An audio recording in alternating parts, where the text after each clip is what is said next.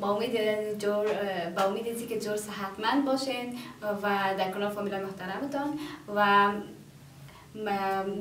قبلا با من خواشنایی داریم که نام هست نرگس گروا و استاد کیمیای شما. خب شاگردای عزیز به ادامه درس های خود. شاگردای عزیز در کیمیا در درس های گذشته خود یک فصل کاملا خلاص کردیم. فصل دوم هم خلاص شد و امروز که است خلاصه فصل دوم است.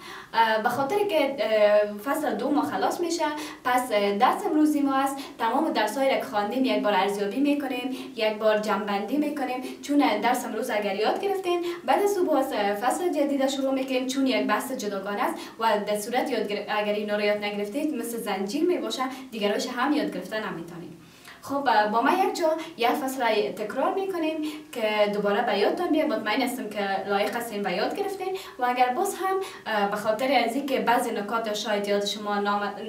یاد شما نمانده باشه از خاطر نیاز است که یک بار دیگه تکرار شود. پس با ما یک جا تکرار کنیم. فصل دوم خود اولین عنوان را که خوانده بودیم عبارت از مخلوط بود. مخلوط از چی گفته بودیم؟ گفتیم مخلوط که است عبارت از یک جا کردن دو یا چند مواد که در بینشان تعامل کیمیایی صورت نگرفته باشند مخلوط ها را گفته بودیم که بنون هم می باشه.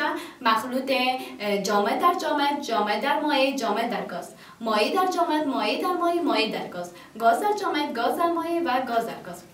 این مخلوط ها بود. و مخلوط ها رو گفتیم اندگاه حل کردن و چند نوع گفتم می باشه؟ بله. و دو نوع می باشه. یکی متجانس و دیگرش غیر متجانس. مادی مت...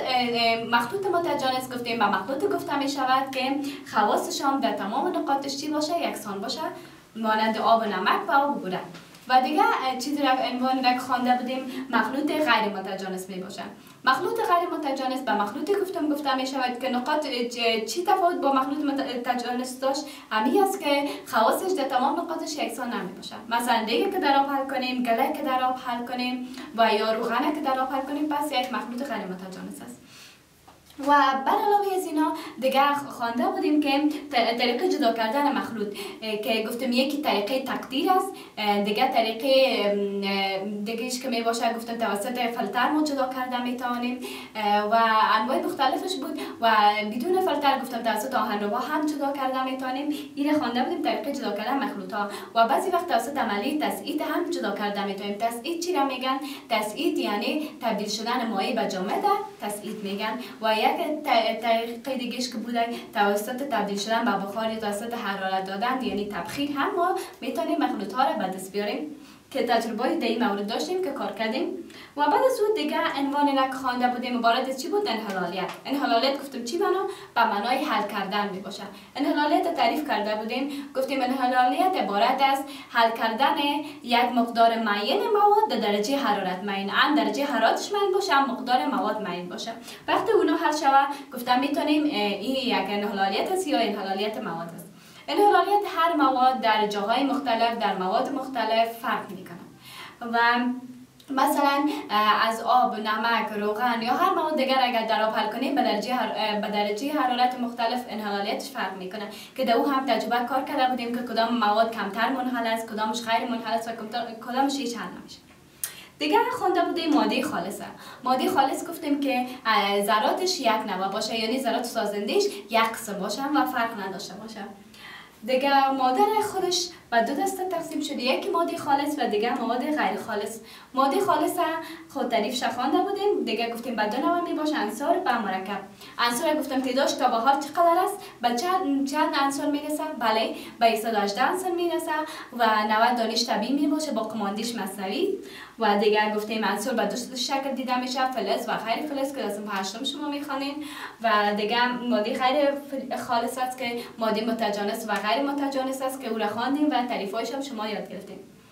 خب شاگرد عزیز با امید که درس امروز یاد گرفته باشین و نکات مهمش شما یادداشت کرده باشین شاگردای عزیز این یاد گرفتین یک فصل یاد می‌گیرین خب این با امید موفقیت هرچی بیشتر تان شاگردای عزیز با هم یک جا نکات مهمی که در تمرین وجود داره با هم یک جا ما پرکتس می‌کنیم شاگردان عزیز فصل دوم تمامش با هم دیگه یک جا تکرار کردیم و خلاص کردیم. گفتم تمرینش با هم یک جا کار می‌کنیم. شاگردای عزیز شما صفحه 37 کیمیای صنف هفتم تونه می‌کشین. صفحه 37 اولا شما سوال می‌کنم شما حدس بزنید که درست جواب دادن می‌تونین یا سوال ما صحیح و غلط است. سوال اول همه مخلوط ها مواد متجانس است. شما چی فکر می‌کنید هر مخلوط ها متجانس است؟ یعنی هر مواد یک جا کنیم متجانس است؟ نه خیر. پس جواب شما درست است. هم مخلوط ها متجانس نیست پس سوال غلط است. سوال دوم. خواص مخلوط های غیر متجانس در تمام نقاط یکسان است. میگه اینی موادی که غیر متجانس است گفته در تمام نقاطش یک گونه خواص داره این صحیح است؟ نه خیر این هم غلط است. چون غیر متجانس یکسان نیست. سوال سوم. محلول ها از دو جزء اساسی تشکیل شده است؟ بله. یکی ماده حل کننده بود یکی ماده حل شونده. سیمش سوال سیم سوال چهارم بود که ماده که بتواند در خود مواد دیگر حل کنه به نام محلل یاد میشه. ماده که در خود دیگر مواد حل کنه محلل یا حل کننده یاد میشه. صحیح است؟ بله. این چی سوال صحیح یا محلل است؟ سوال پنجم. اعضای مخلوط های غیر متجانس با آسانی قابل تشخیص است.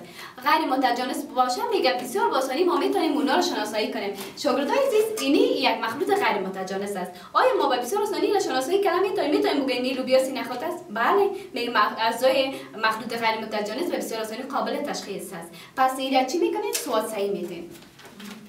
خب سوال بعدی هست. سوال ششمتان از بخش صحیح و غلط. عناصر مواد خالص است. عناصر مواد خالص گفته می‌تونیم؟ بله چون یک نوع داره سوال هفتم.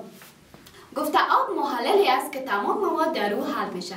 گفته می‌تونیم تا یک چون زیادتر مواد او حل نمیشه. اما به سوی شما گفته می‌تونیم. بله آب محلل است که تمام مواد او حل میشه. سوال صحیح سوال هشتم. اگر شما پرسیده شود که مرکبات موادی است که از یک نوع عنصر ساخته شده. سو غلط میگه مرکب موادی است یک عنصر داشته باشه به نظر تانی صحیح است یا غلط. یک عنصر نخیر این کاملا غلط است. به خاطر گفته بودیم مرکبات از یک جا شدن دو عنصر یا چند عنصر به وجود پس او غلط است.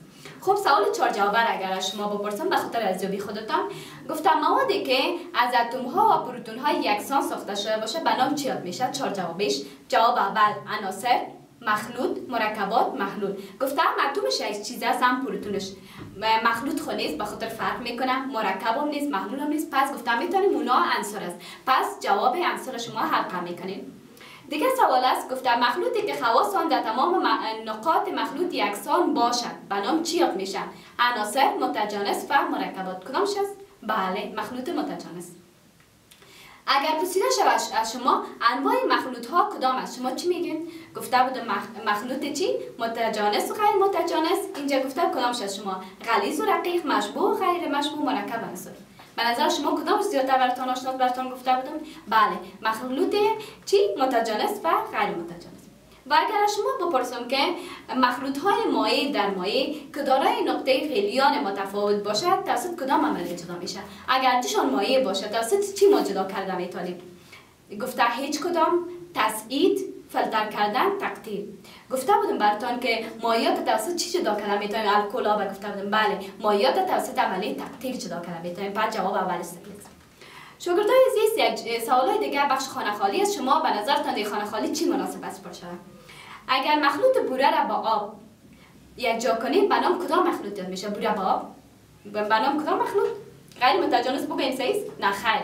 گفتم می‌تونیم مخلوط بوره با مخلوط متجانس است. اگر شما را بگویم محلول از ماده منحله و خانه خالی ساخته شده. ماده منحله و دیگه چی بود؟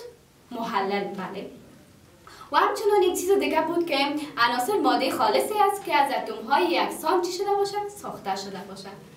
و در صورت انحلالیت حالت چی مهم بود؟ که براتون کار کرده بودم بوده و قند خشتی حالت فیزیکی مواد مهم است. در خانه خالی شما فیزیکی را چی می‌کنین؟ پر می‌کنین. شاگردای عزیز این تمرین بود که با هم یک جا کار کردیم. با امید موفقیت بیشتر و بیشترتان تا جلسه بدی شما را به خداوند یک تا امانت می‌کنیم. الله نگهدار.